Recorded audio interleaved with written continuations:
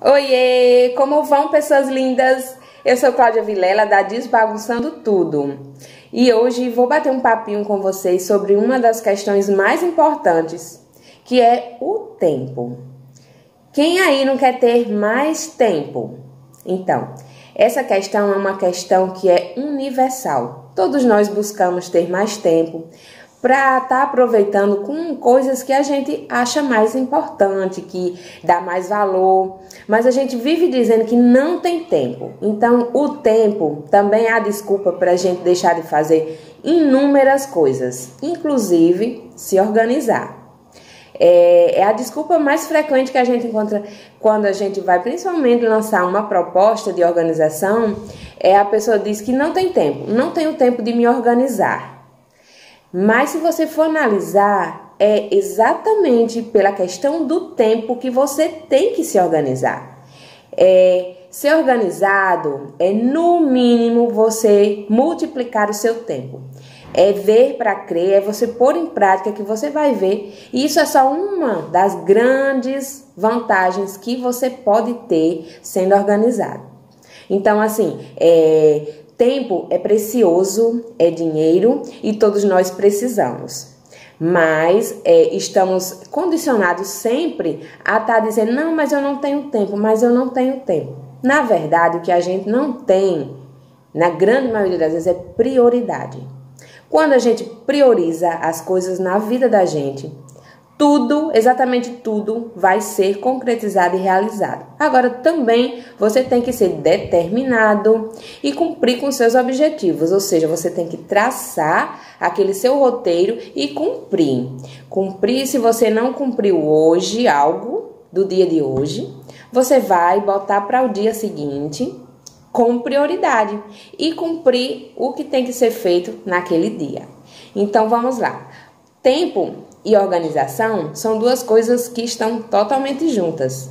Ser organizado é, no mínimo, você duplicar o seu tempo. Então, essa desculpa de que, ah, vamos se organizar, não, não vou porque eu não tenho tempo, é exatamente por causa do tempo que você tem que se organizar, porque você vai, no mínimo, duplicar o seu tempo e ter muito mais qualidade de vida, economia de dinheiro, e são infinitas, infinitas as grandes vantagens que a gente tem por estar se organizando.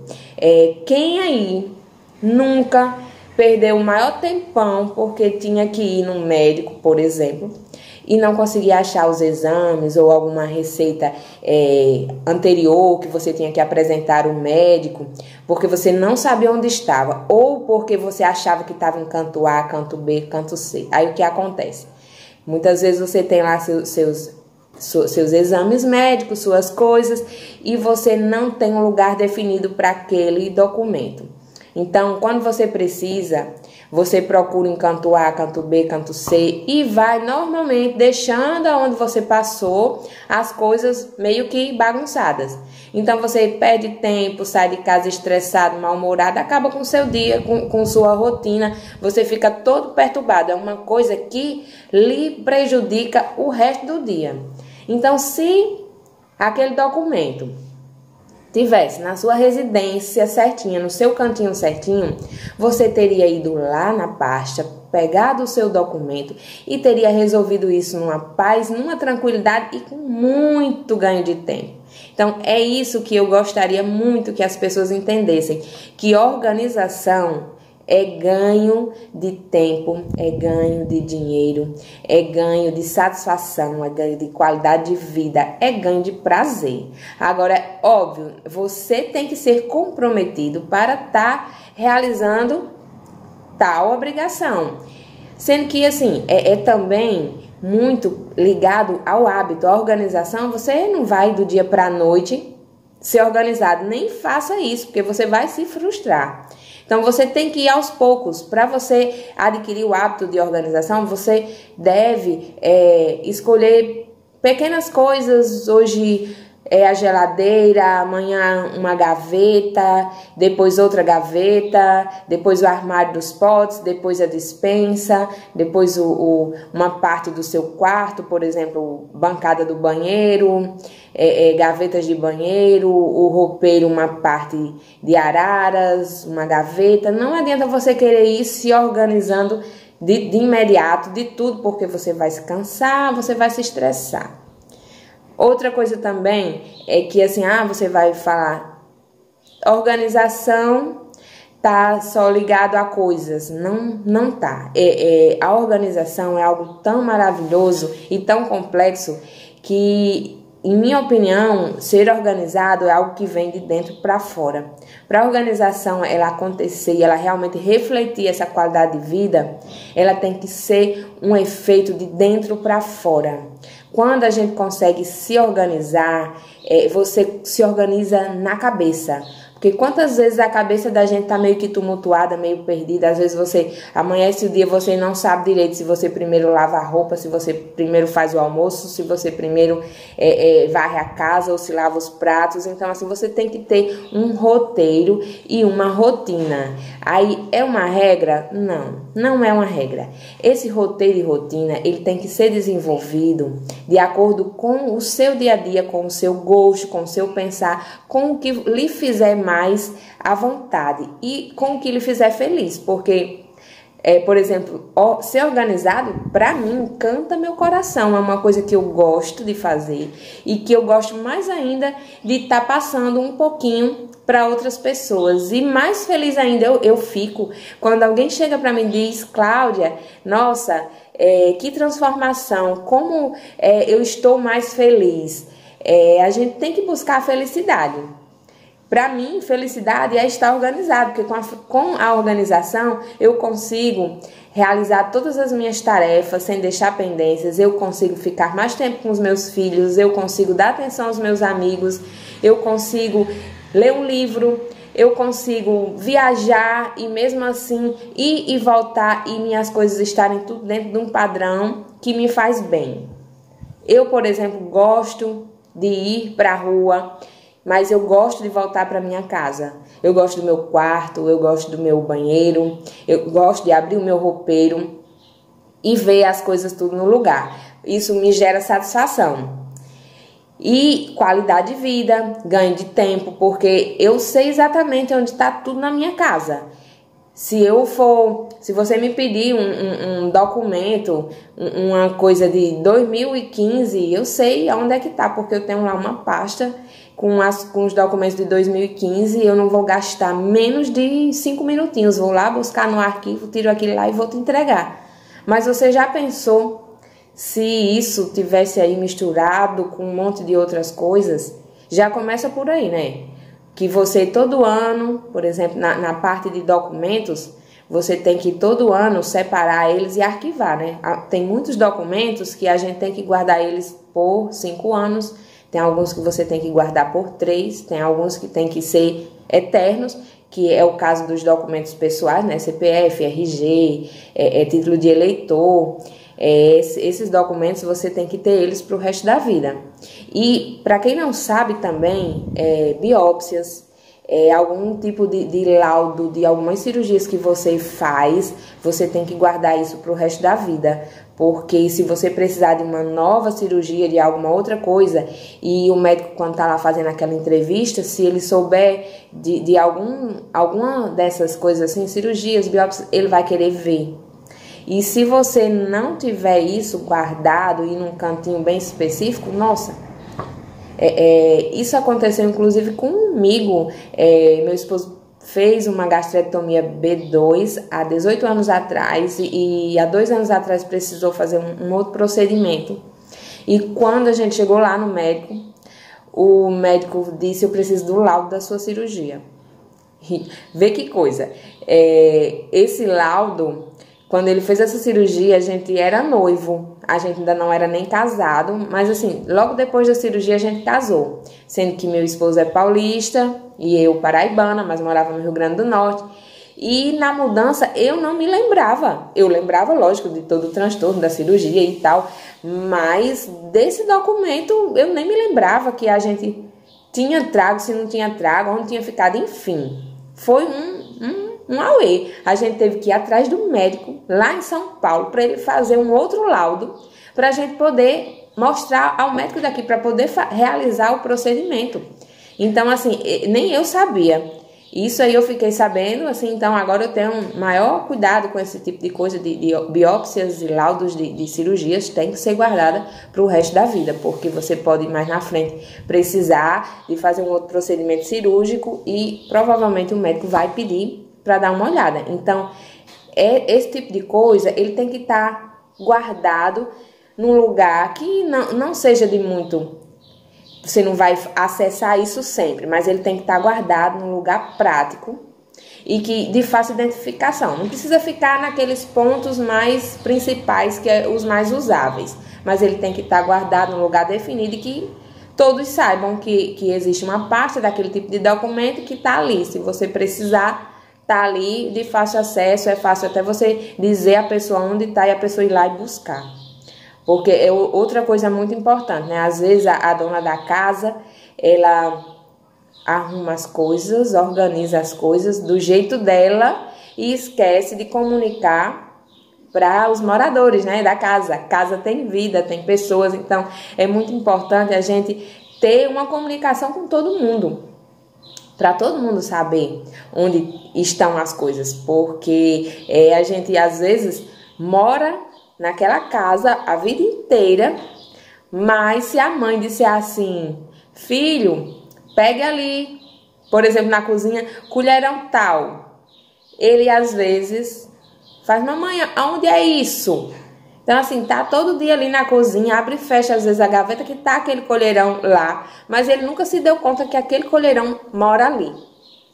Então, assim, é muito importante é, essa comunicação com todo mundo, para que todo mundo saiba o que tem dentro da casa, o que tem dentro dos cômodos, o que tem dentro dos armários, é, das gavetas, para que seja de fácil acesso. Aí às vezes essa comunicação não é muito é, recíproca. Então o que, é que a gente faz também aí para melhorar? Etiqueta.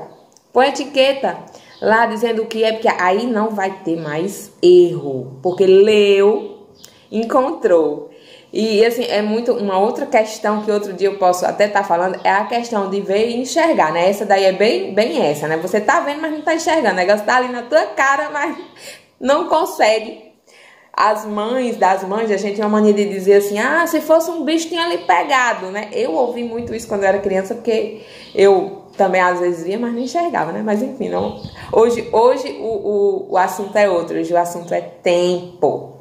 Tempo o tempo que a organização traz para você, para o seu dia a dia, para a sua vida ser mais otimizada, né? Que é outra palavrinha maravilhosa, é otimizar, né? A, a organização ela otimiza tudo. Tudo por onde ela passa, ela, ela otimiza demais, porque assim, quando a gente arruma, você está sempre arrumando, arrumando, arrumando. Mas quando você organiza, você só mantém. Aí você vai dizer, ah, mas e tem diferença? Lógico que tem.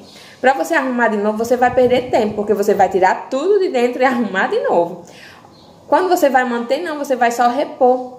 Então, assim, é questão de muitas coisas de segundos. Você tirou, guardou, usar muito a, a minha regrinha de VV, tudo tem que, tudo que vai, volta. Então, assim, não, não tem erro.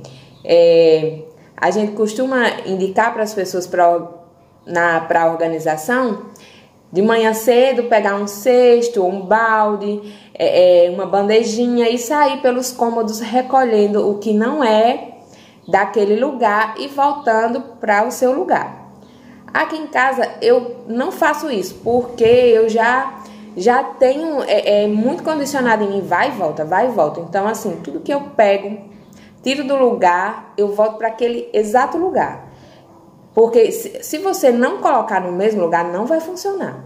Se você tem uma gaveta ali no escritório que ela estão apenas as é, é, tesouras, canetas, lápis, borrachas, coisas de escritório. e você pega lá uma, uma tesoura e você vai coloca na gaveta de baixo ou coloca numa outra gaveta, ou coloca em outro cômodo, não vai funcionar, porque aí você vai procurar e você não vai achar.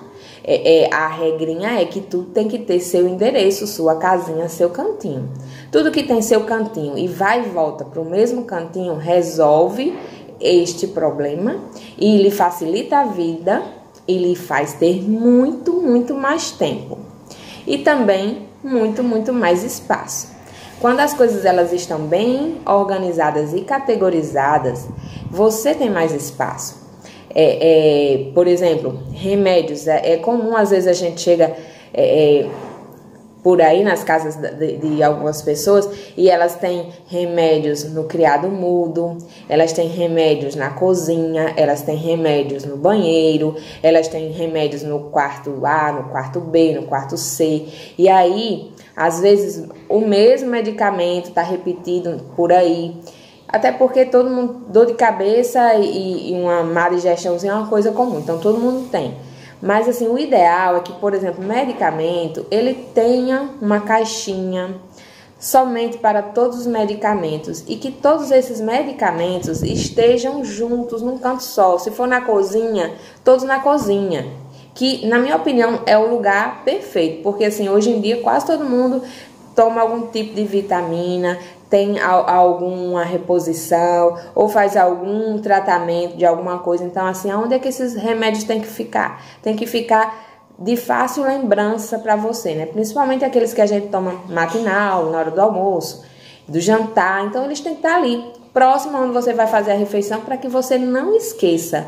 Ou use, faça o uso dos amiguinhos post-its Outra coisa que a gente também tem que fazer uso, que é muito importante para a gente se organizar e ganhar tempo, é uma agenda.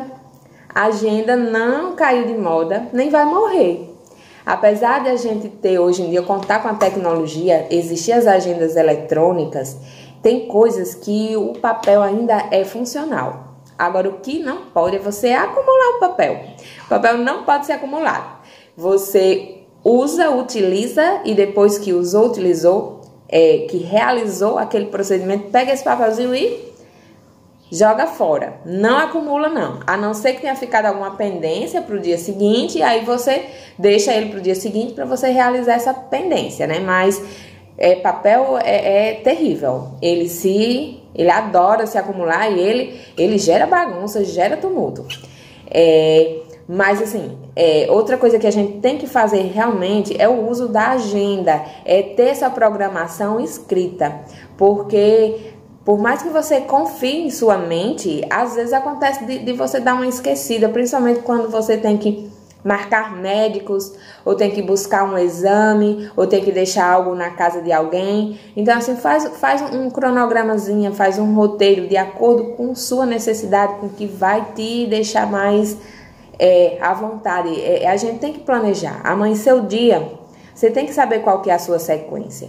É, se primeiro você é, lava a louça, ou põe a, a roupa para bater, ou tira o pó das coisas. E tem que ter dias, porque também não, não, não é necessário você fazer tudo de uma vez, né? Por exemplo, para quem não tem é, é, secretária em casa, faxina, faxina é um horror. Quando diz assim, faxina, seus cabelos já sobem. Imagina, você botar a sua casa inteira é, em ordem, limpar ela inteira num dia só. Então, isso assim é, é cansativo, é, é frustrante. Só imaginar você já fica desesperado. Então, assim, resolve isso fazendo um cômodo por dia. Faz a faxina num cômodo por dia. Cada dia da semana você estipula um e você vai fazendo, você vai fazendo, você vê que vai estar tá tudo sempre limpo, tudo sempre do seu agrado e você vai estar tá sempre conseguindo manter sua ordem e suas coisas organizadamente. É, é só uma questão de disciplina e de você ter um roteiro, de você começar. É, põe no papel, pega um dia e, e analisa, faz o, o, o mapa da tua casa. É, vai lá no quarto, dá uma olhada no quarto. Vê o que pode melhorar, o que está fora do lugar, o que você pode jogar, o que você pode destralhar, o que você pode desapegar, o que você pode doar e fazer o bem aí, fazer um bocado de gente feliz. Olha lá, faz no teu quarto um levantamento do que você pode melhorar. E ali você comece a melhorar. Você escreveu, tu mapeou o estado que está o teu quarto. E aí, dali daquele mapeamento, você vai anotar o que você pode estar se desfazendo. Aí depois você ponha é, em ação o que você planejou.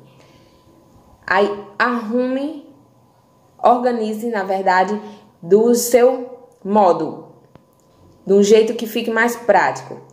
E vá percebendo, vá contando o tempo.